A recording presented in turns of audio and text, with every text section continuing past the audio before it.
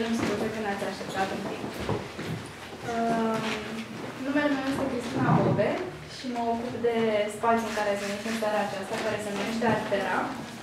Este un spațiu alternativ în care tot ceea ce se întâmplă are ca scop să conecteze artele cu medicina. Sau medicii cu artiștii, sau pasionații de artă și pasionații de medicină, astfel încât să se creeze un dialog și să rezulte ceva creativ din uh, dialogul dintre aceste două domenii aparent atât de diferite. Empatia fiind uh, unul din rezultatele pe care noi îl urmărim, să obținem prin diferite uh, activități sau chiar uh, lucrări de artă.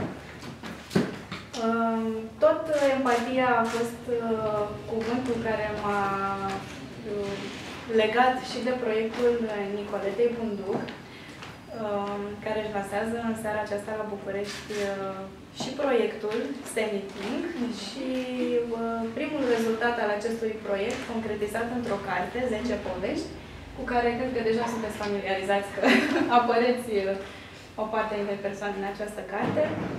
Um, îmi face foarte mare plăcere să găzduiesc acest eveniment. Um, o cunosc pe Nicoleta de foarte mulți ani, de când eram amândouă jurnaliste. Ea și-a continuat parcursul în domeniul acesta și a făcut asta cu brio. Uh, M-am bucurat citindu-i cartea să constat că și-a păstrat sensibilitatea și exact acest mod empatic de a se apropia de persoanele cu care vorbește, astfel încât să, să poată trece în postura cealaltă și să poată să transmită o emoție și către ceilalți oameni. Um,